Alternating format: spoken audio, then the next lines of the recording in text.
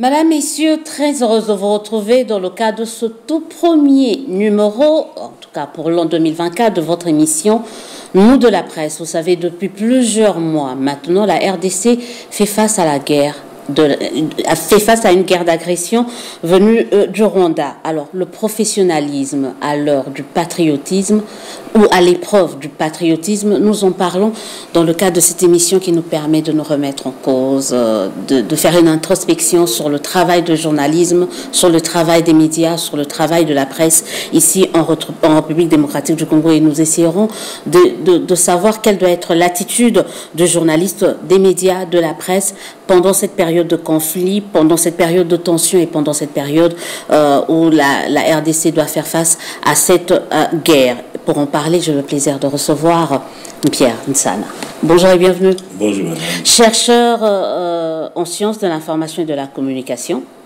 Vos domaines de recherche, médias et journalisme en RDC, radio et conflits armés, journalisme et conflits armés, système médiatique, mais également vous avez publié en 2011, 2021 cet ouvrage intitulé Médias et conflits armés en RDC, des journalistes en danger, le journalisme en chantier. Exactement. Expliquez-nous un peu le titre de cet ouvrage. Qu'est-ce que vous vouliez dire? Je voulais tout simplement faire une analyse de, contenu des informations diffusées par les radios euh, par rapport au conflit armé qui s'est déroulé entre 2012 et 2013 à l'Est, principalement dans le Nord Kivu, et qui opposait déjà à ce temps-là les forces armées de la République démocratique du Congo au mouvement du M23.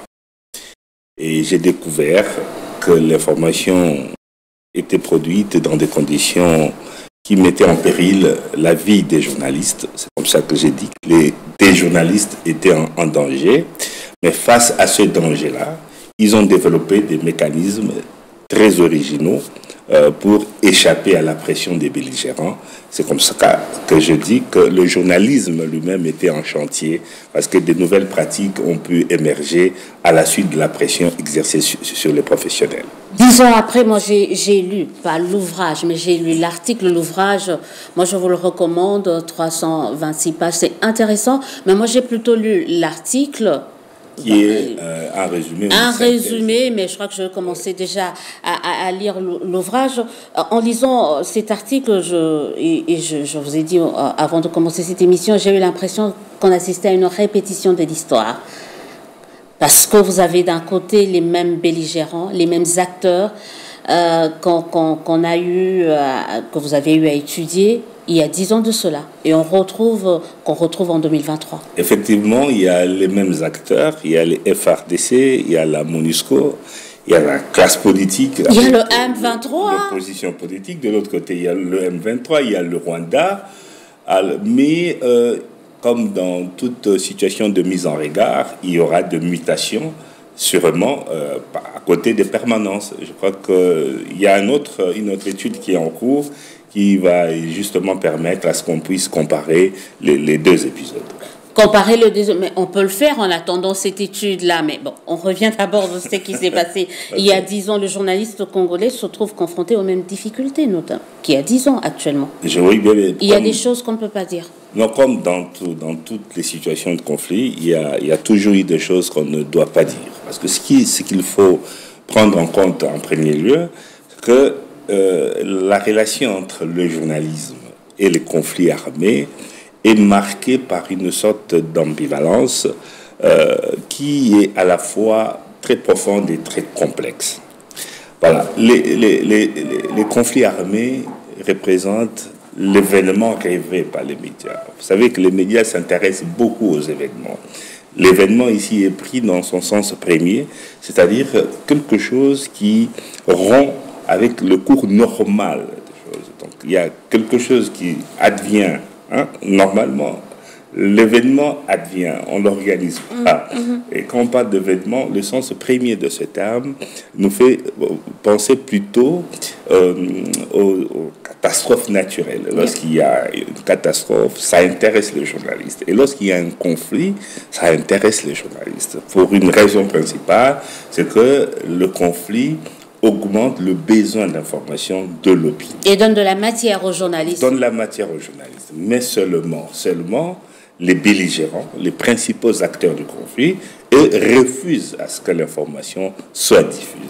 Et c'est là l'intérêt de cette problématique des médias et conflits armés. On a une situation qui à la fois crée le niveau le plus élevé des demandes d'information et en même temps crée euh, les conditions euh, le plus difficiles de production d'information. Voilà.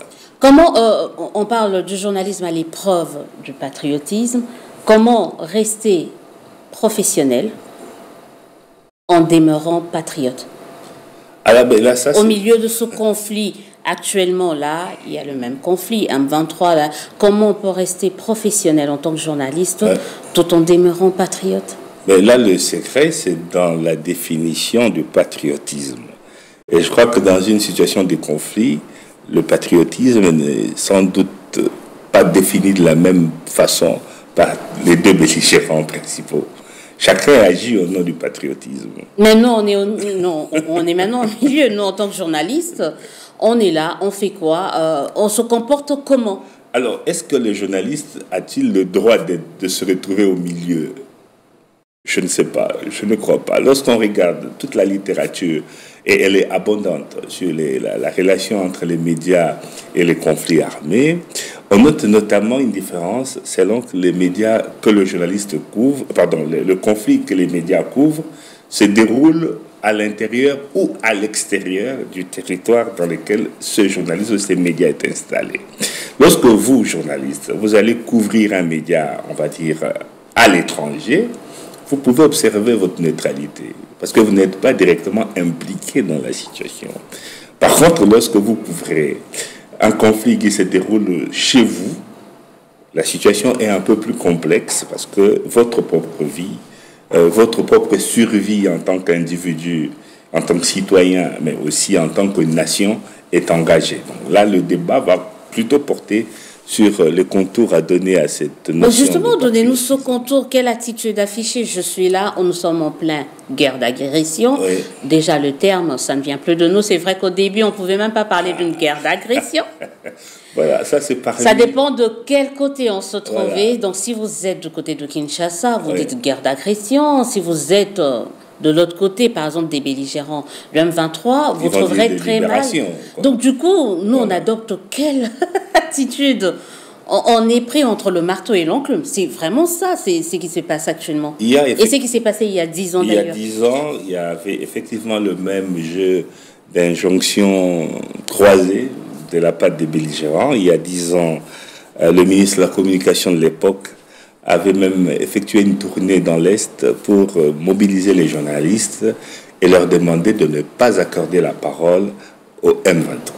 Il y a 10 ans, 11 ans, euh, lorsque euh, le M23 avait momentanément occupé Goma et que ses dirigeants étaient passés sur les antennes de Radio Capi, euh, les signaux de cette radio a été brouillé à Kinshasa. Voilà. Donc, Aujourd'hui, les choses ont un peu évolué. Donc, euh, la, la, la, guerre est plutôt qualifiée d'agression. Les éléments de langage sont produits par les acteurs politiques et récupérés ou pas par les journalistes. On constate qu'aujourd'hui, les médias se montrent plus proches du gouvernement qu'il y a 12 ans. Ça, c'est parmi les, les, mutations que j'ai pu observer en comparant les, euh, les deux situations, mais je crois que la responsabilité incombe aux journalistes. Ce n'est pas un enseignant qui n'a jamais eu le courage d'aller sur le terrain pour, pour, couvrir, de venir dire aux journalistes ce qu'ils doivent faire. Incombe, parce qu'on oui. retrouvé dans des cas où euh, euh, vous donnez l'information, par exemple, sur la prise de Bunagana, de Saké, on ne parle pas, et, et vous êtes tout de suite taxé de traître. Et vous avez peur, vous faites quoi si l'information après recoupement s'avère être vraie? Vous dites, est-ce que je, la publie? Je ne la publie pas. Si je la publie, je risque de me dire que tu n'es pas patriote. Je fais le relais des agresseurs. Et si je ne la publie pas, il y a des gens qui sont en manque d'une information qui s'avère d'être vraie. Donc on se retrouve confronté à cette difficulté-là. Ben, je vais peut-être vous décevoir, sans doute, parce que je n'aurai pas de conduite à vous dicter. Euh, vous êtes euh, responsable d'avoir choisi cette profession. Par contre, on va essayer de voir ensemble. Moi, j'ai interrogé en, 2000, euh, en 2013, en tout cas en 2015-2016, par rapport au conflit 2013, 54 journalistes de Kinshasa et de Goma. Évidemment, de ces 54 journalistes, des responsables des rédactions et des reporters qui étaient vraiment sur terrain, chacun a donné, j'ai recueilli des avis différents. Il y en a qui ont choisi de relayer le discours du gouvernement au nom du patriotisme. Il y en a qui ont décidé de rester neutres parce qu'ils pensent que l'obligation du journaliste, c'est d'abord de dire la vérité. Il y a d'autres qui m'ont témoigné qu'ils n'avaient pas eu le choix euh, de rester neutres ou de servir euh, la cause du gouvernement qui défend en réalité euh, le pays, parce qu'ils étaient sous, sous l'emprise du M23 à Goma et qu'ils étaient en réalité des otages. On leur dictait les phrases à, diffuser à la radio, on leur dictait les questions à poser aux invités, alors que les gens qui les écoutaient n'étaient pas au courant que ça se passait comme ça. Et donc, moi, j'ai eu cette opportunité de voir de quelle manière les, euh, les journalistes étaient soumis à, des pressions et j'ai été impressionné de voir à chaque fois comment chacun a trouvé une manière précise de contourner les pressions pour demeurer... De, vendre son âme au diable, parce que le journaliste professionnel est celui qui, qui reste neutre, objectif. Du moment où vous, vous ne l'êtes plus, vous avez vendu votre, votre âme, en fait. Non, mais j'ai rencontré quelqu'un, un ancien journaliste, je crois, je dis ancien parce que je crois qu'il ne l'est plus, il s'appelle Magloire Palou. Magloire Palou. Magloire qui, à l'époque, Goma 24 À Goma, euh, oui. Magloire avait choisi, avant tout le monde, d'être neutre. Il accorde la parole et au M23 à l'époque et au gouvernement. Il s'est clairement euh, dit servir le journalisme et la vérité. Alors, il me disait par exemple, je crois que ça fait dix ans, je peux en parler aujourd'hui, il me disait, mais écoute Pierre, moi, on nous avait interdit de relayer euh, les propos du M23. moi, dans tous les cas, lorsque j'avais une information, si elle était vraie, que je ne pouvais pas interroger le M23, j'ai interrogé les habitants voilà, qui pouvaient témoigner que leur ville est passée sous le contrôle du rebelle. Voilà il avait trouvé son, sa, stratégie pour continuer à servir ses auditeurs. Parce qu'il estimait que son contrat avec les auditeurs était prioritaire. Alors, j'ai trouvé juste à côté une autre radio qui s'appelait euh, Vibière, je crois, Virunga Business, je ne sais pas si la radio existe encore. La radio Vibière avait fermé son antenne à l'entrée du M23 à Goma parce qu'elle ne voulait pas que cette radio relaie les propos euh, voilà deux cas de figure où euh, chacun, chaque journaliste choisit une stratégie pour euh, continuer ou pas à exercer son boulot. Dans un camp comme dans un autre, dans un cas comme dans un autre, la responsabilité revient au journaliste. Ah oui, De lever l'option par rapport au contexte, par rapport à, sa avoir vision. mesuré voilà, les risques, parce qu'il y a un autre journaliste qui me disait, écoutez, moi, sous le contrôle du M23, je ne pouvais pas refuser de leur accorder la parole, parce que pour être bon journaliste, il faut d'abord être vivant. Oui. C'est une phrase que j'ai retenue, que j'enseigne aux étudiants. Ce qui, n'est pas faux. C'est très, très réaliste. Très réaliste Il dit le bon journaliste est d'abord celui qui est vivant.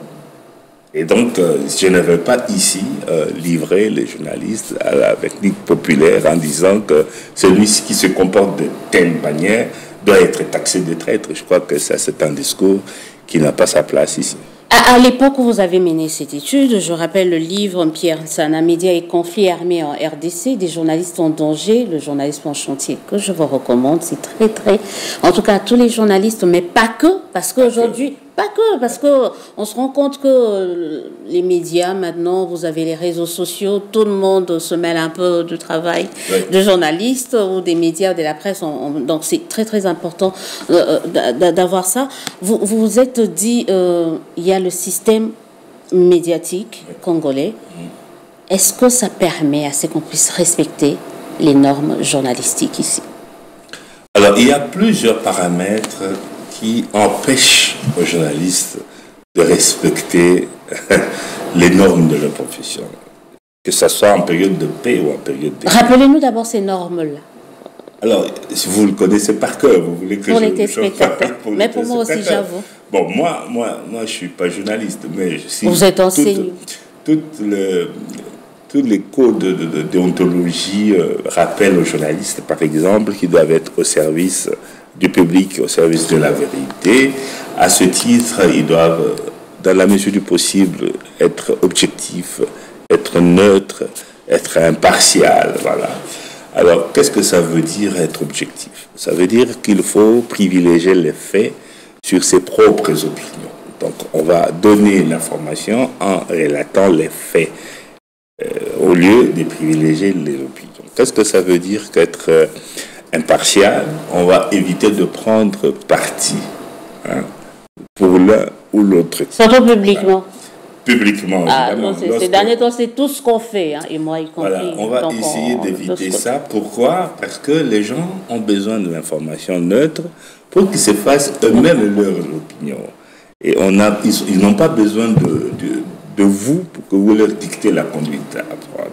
Donc, vous donnez l'information de manière neutre dans la mesure du possible. Il faut diffuser une information équilibrée, une information pluraliste, c'est-à-dire qui reprenne les différentes opinions qui existent dans la société sur le sujet traité. Il y a toujours un triangle de sources qu'on enseigne dans toutes les facultés de journalisme officiel, le pour, le contre, le neutre, l'officiel, le participant, l'expert, Il y a toujours ce triangle-là qu'il faut respecter de manière à laisser à vos auditeurs, à vos téléspectateurs, la latitude de se faire leur propre opinion. Mais pourquoi les journalistes doivent faire ça? Pourquoi? Pour marquer justement la différence entre vous, les professionnels, et les autres qui aujourd'hui envahissent l'espace public en produisant de l'information tout à fait en marge de, toute cette déontologie-là. Et lorsque vous vous éloignez vous-même de vos valeurs, vous permettez qu'on vous mette en concurrence avec les autres. on est aux antipodes de nos valeurs. Il hein. ne faut pas qu'on se on est, on, on, s'entremêle on ne sait pas qui est qui. Par contre, euh, au-delà de ce discours euh, de promotion du professionnalisme, il y a la réalité. Il y a la réalité. La réalité est que le journaliste travaille au sein d'une entreprise. Et une entreprise qui est souvent... Ça, c'était avant. Soyons réalistes. Il n'existe plus d'entreprise de presse ici. Ça, c'était sur papier, dans les cours, dans les matières. Je vais reformuler mes propos. Je veux dire que le journalisme doit créer son propre modèle économique pour continuer à exister. Mhm. Et que les, injonctions ou les exigences de survie économique souvent entrent en conflit avec les valeurs professionnelles. Hein, depuis que l'information est devenue une marchandise, hein, il y a des exigences qui sont autres que professionnelles. Pour rester journaliste sur la place publique, vous devez intéresser un plus grand nombre, ou le plus large marché possible d'auditeurs. Et pour intéresser un plus grand nombre, il faut créer une confiance, ou peut-être même développer, utiliser des techniques de séduction, hein, et vous adresser, solliciter les émotions de votre public et non la raison qui est en fait la cible de l'information. Et depuis lors, les journalistes est soumis à des pressions économiques pour continuer à trouver les moyens de financer son activité qui, est, qui était pendant longtemps d'essence démocratique et, et citoyenne. Là, on, parlait, euh, ma question c'est celle de savoir sur le système médiatique congolais. le système médiatique, qu'est-ce que j'entends par système médiatique C'est que la production de l'information en RDC ne peut pas être euh, isolée euh, par rapport aux différentes interactions qui l'entourent. Le, journaliste, je disais, est en interaction constante avec ses confrères, n'est-ce pas? Il y a la charte, il y a la déontologie, toutes les valeurs dont on vient de parler ici. Donc le journaliste doit les observer. Il sait qu'il est regardé, il est observé par ses confrères par rapport à, ce qu'il fait. Mais il est en interaction aussi avec son employeur, même si ça peut être vous-même mais vous avez, j'imagine, une équipe de reporters qui se déploient sur le terrain. Vous avez ces rapports économiques que j'ai évoqués ici. Il faut produire une émission, mais cette émission, si elle peut être rentable, c'est tant mieux pour vous parce qu'elle vous donne les moyens de continuer à produire. Mais pour avoir les moyens, vous avez le public, mais vous pouvez aussi avoir les sponsors, des gens qui mettent de l'argent dans votre entreprise et qui attendent à ce que leurs intérêts soient servis par vous alors que vous, vous êtes neutre, impartial, etc. etc. Mais ce n'est pas fini. Vous êtes en interaction avec les autorités qui ont la charge de la gestion de la cité et qui ont des impératifs qui dépassent de loin vos exigences économiques ou professionnelles. Et c'est dans l'ensemble de ces interactions-là qu'il faut placer la production de l'information. C'est ce que j'appelle le système médiatique. Ok, donc les rapports entre le journaliste et les différents autres intervenants que ce soit médiatique, que ce soit journalistique, mais politique et économique, c'est de cet ensemble-là qu'on arrive maintenant à comprendre la qualité euh, du produit final qui est, qui est diffusé. Qui est, qui est diffusé. On, continue de parler euh, de ces de, journalisme à l'épreuve de professionnalisme. On revient un peu, il y a très récemment, il y a quelques jours par exemple, euh, le CESAC demande assez qu'il n'y ait pas euh, des débats autour des opérations du FRDC sans un expert. Oui. C'est qui est sûr, ça pilule là, sur nos plateaux, des gens qui s'improvisent experts. Vous trouvez que c'est déjà une, une bonne décision oui, mais c'est ça qui est dans son rôle de régulation et d'encadrement. Voilà, il est dans son rôle de régulation et d'encadrement de l'espace médiatique, l'espace public. C'est en rien une restriction. Ah non, une certaine liberté euh, de, la presse ou d'expression. Vous n'avez pas une liberté à l'infini, quoi. Vous ne pouvez pas dire ce que vous voulez, ce que vous pensez. Vous devez être responsable en raison de l'impact que ce que vous dites peut avoir sur la société. Donc le journaliste connaît ses limites. C'est une mission que la société vous a accordée, vous a assignée, de collecter, de traiter, de diffuser l'information pour elle. Et ça vous donne beaucoup de responsabilités. Et c'est ça est dans son rôle, que de vous rappeler de temps en temps, si vous vous en écartez, que vous avez l'exigence, l'obligation de faire ceci et cela. Alors, pour, dans un contexte précis, des conflits armés ou des guerres, l'information devient une donnée stratégique, surtout pour les belligérants. De telle sorte que si vous n'êtes pas responsable, que vous dites excusez-moi, permettez-moi l'expression, n'importe quoi sur vos antennes, cela peut impacter sur le moral des troupes. Comprenez? Et que les, les, les, belligérants, ils suivent les médias.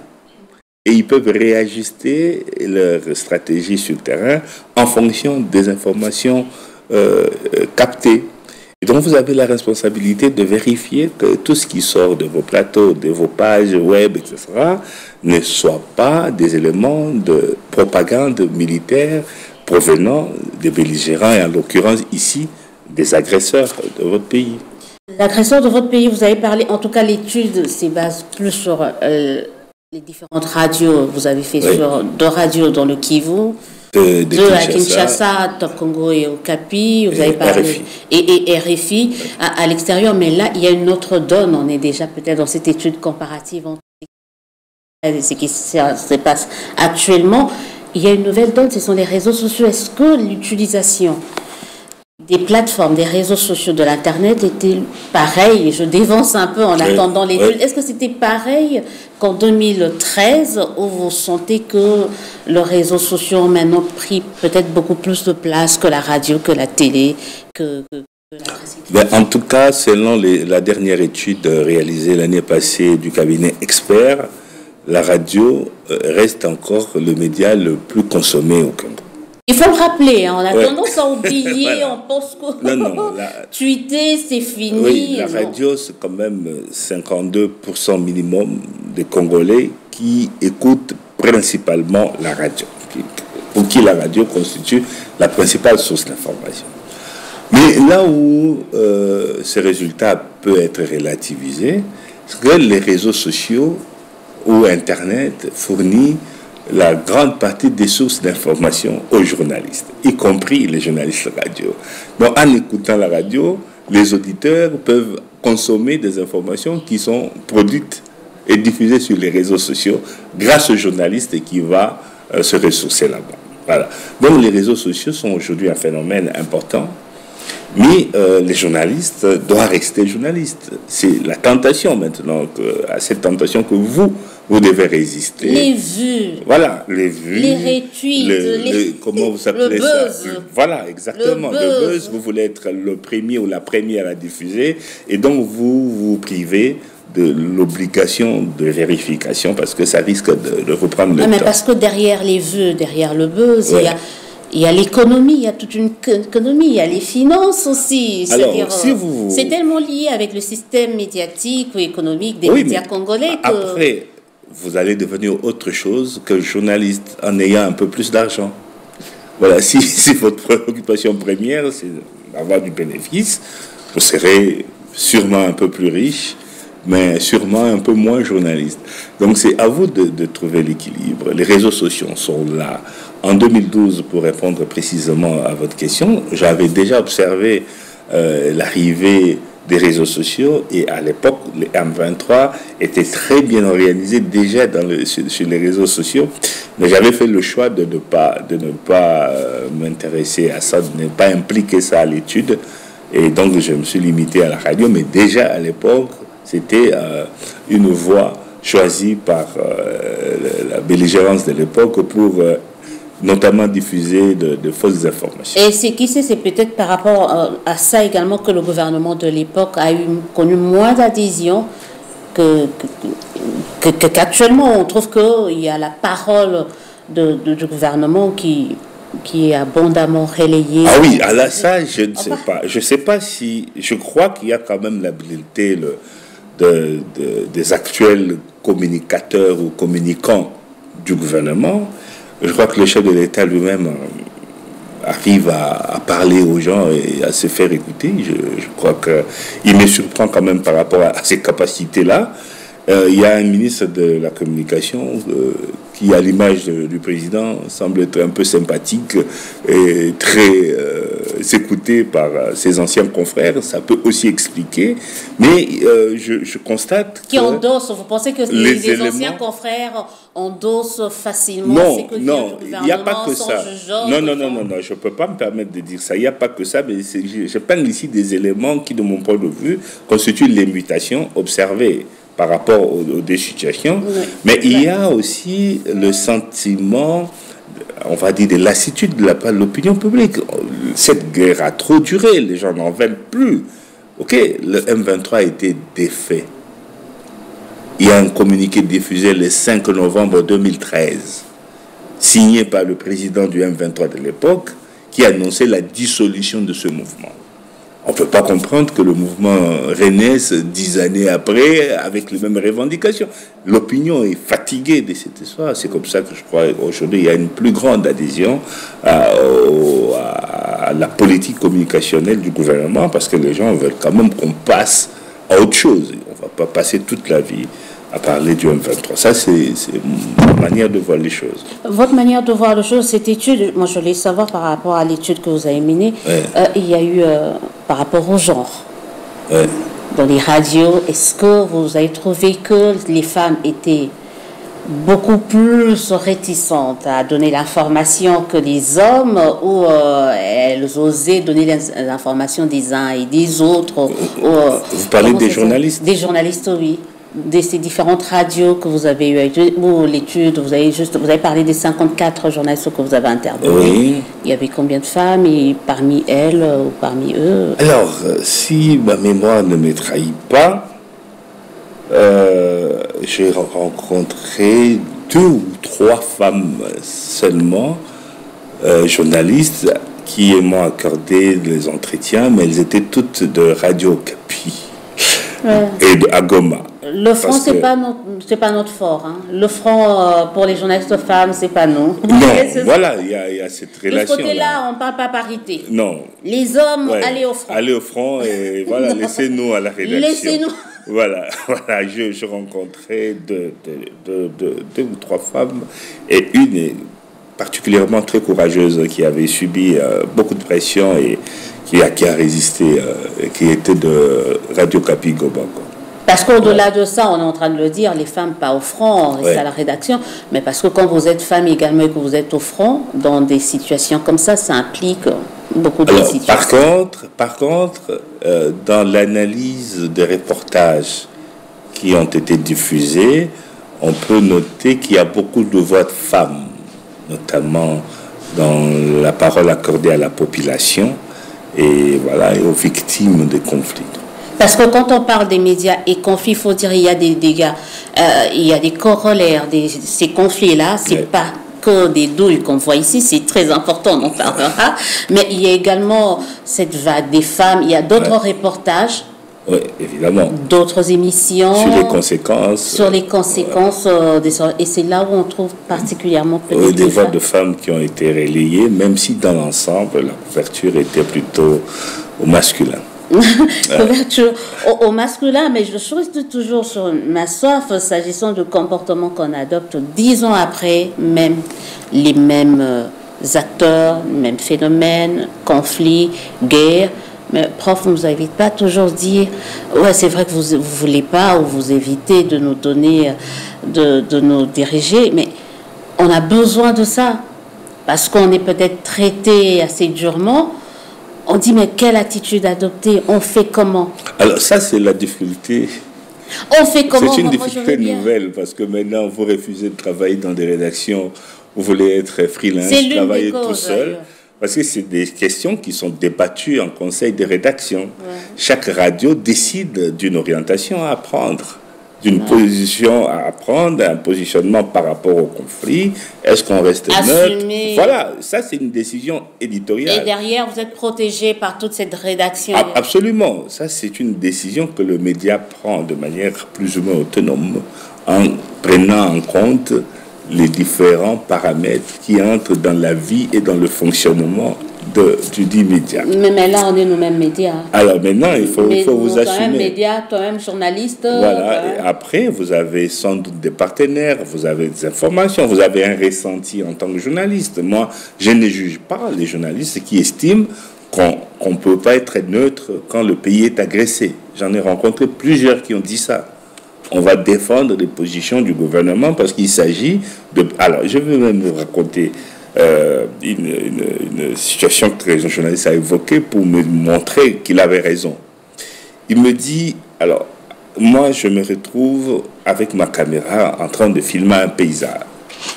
Et dans mon paysage, je constate qu'il y a un enfant de 3 ans qui est sur le point de se noyer. Qu'est-ce que je dois faire? Est-ce que je dois continuer à filmer parce que c'est ça mon objectif de journaliste? Ou vous m'autorisez à déposer ma caméra pour aller secourir cet enfant? Moi, je n'ai pas répondu, évidemment, ce n'était pas mon rôle de répondre. Il dit, je considère que le pays en situation de conflit ressemble à, cette, à cet enfant et donc je dois d'abord sauver l'enfant et continuer à prendre des images. Ça, c'est un Congolais qui le dit. Mais à côté, regardez sur Internet, vous allez voir des photos de jeunes enfants, de petits-enfants qui arrivent à peine à se mouvoir, couverts de mouches, qui sont prises par qui? Par des reporters, des réteurs, je sais pas, des indépendants qui vendent de telles photos, qui sont euh, achetées là-bas euh, par les médias internationaux, parce que ça correspond à l'image qu'ils veulent euh, passer du, pays. Alors tout ça, à votre niveau, c'est à vous de vous décider.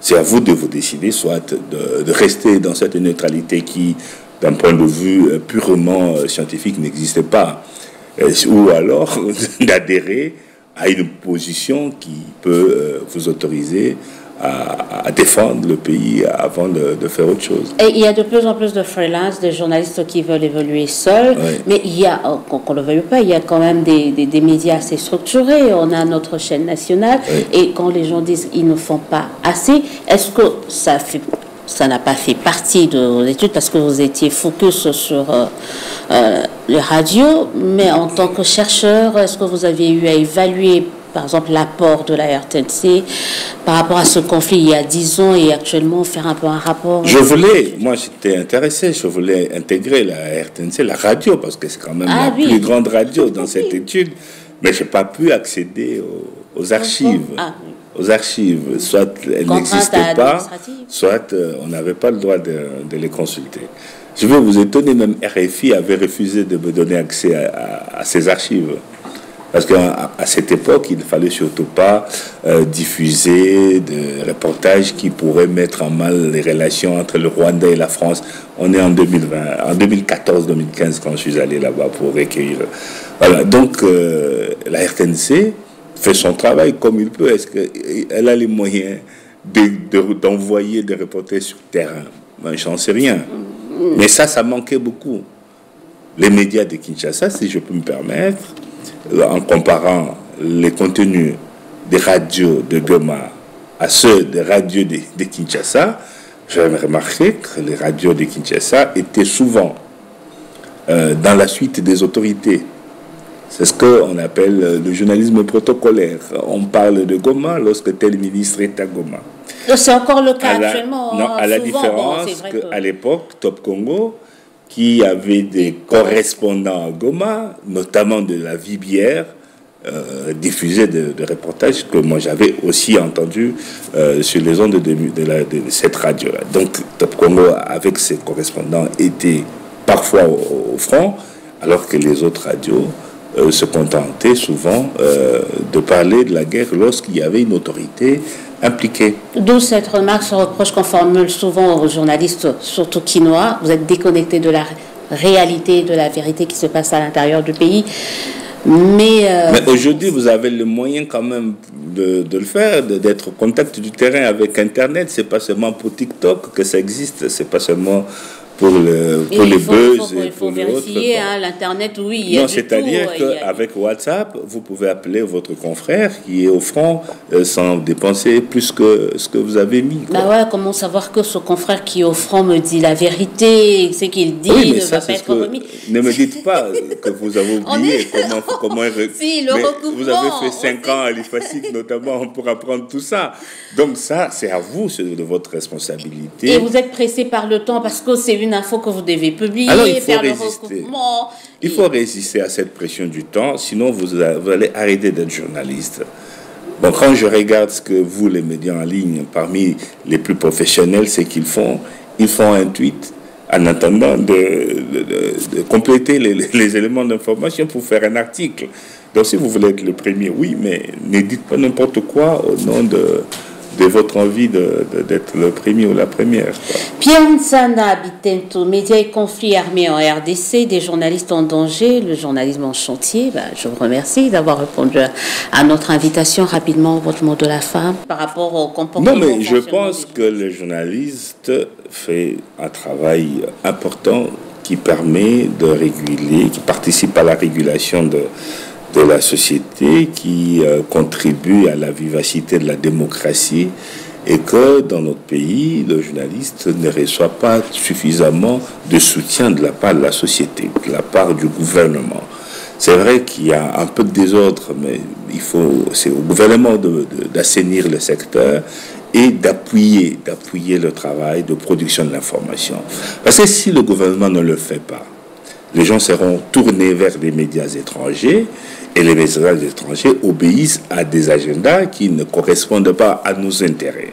Donc nous avons l'obligation en tant que nation d'avoir des médias forts, des médias professionnels qui produisent une bonne information. La plupart des jeunes gens qui sortent de l'IFACIC se débrouillent par leurs propres moyens et on, a souvent la facilité de les critiquer alors que personne ne leur a vraiment euh, donné les moyens pour... Oui, mais il y a toujours cette guerre euh, générationnelle maintenant de ceux qui étaient là avant et ceux qui sont aujourd'hui, ceux qui évoluent aujourd'hui. Hein.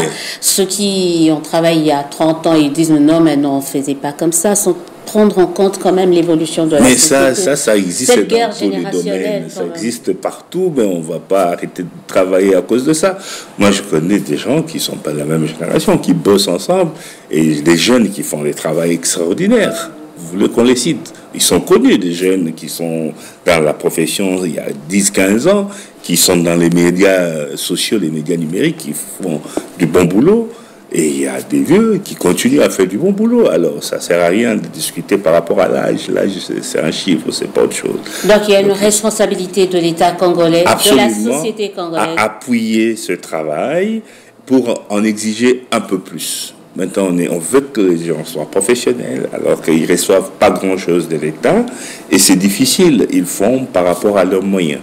À partir du moment où on appuie les secteurs, je ne demande pas qu'on distribue l'argent aux journalistes, qu'on appuie les secteurs et qu'il y ait une stratégie, une politique nationale de production d'information et qu'on exige aux gens qui veulent investir, travailler dans ces secteurs de respecter les normes qu'on aura établies. Pour l'instant, on est quand même très très loin de. Et, pourtant, il n'y a pas très longtemps, on était. Il y a, aux États, généraux, il y a eu des résolutions. Euh, qui bah, l'application voilà, qui n'ont jamais été appliquées. attendre, là, on se prépare à aller au Congrès. Voilà de l'UNPC, alors qu'il y a, bon, c'est vrai, ça faisait partie des résolutions. Vous allez cumuler comme ça, cumuler des, des, résolutions, vous allez noircir les textes, les, des pages avec des mots, des phrases qui serviront à rien.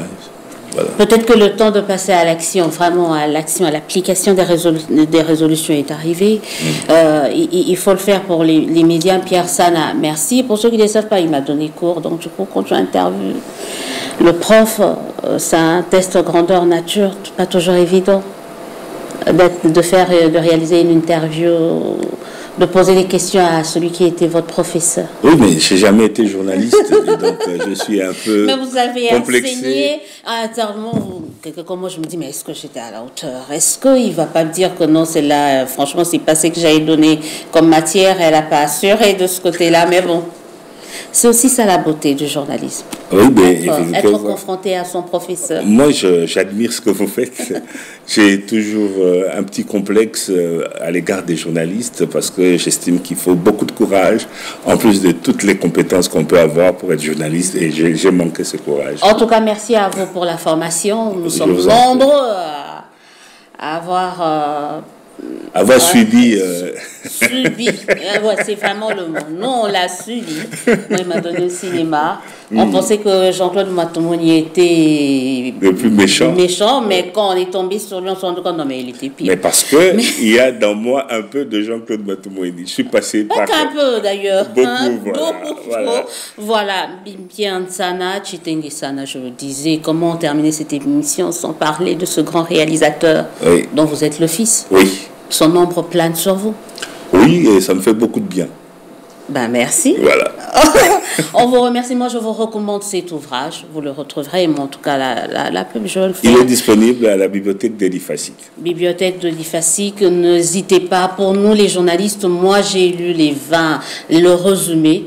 Ça y est, j'ai levé l'option de lire euh, l'entièreté de l'ouvrage et j'invite les confrères, les consoeurs, pas que les politiques, procurez-vous, il y a des, il y a des anecdotes, il y a des, il y a des études, il y a des, des révélations quand même assez intéressantes par rapport à l'avenir de notre métier ici en République démocratique du Congo. On se dit au revoir, à très très bientôt pour un nouveau numéro de votre émission, nous de la presse.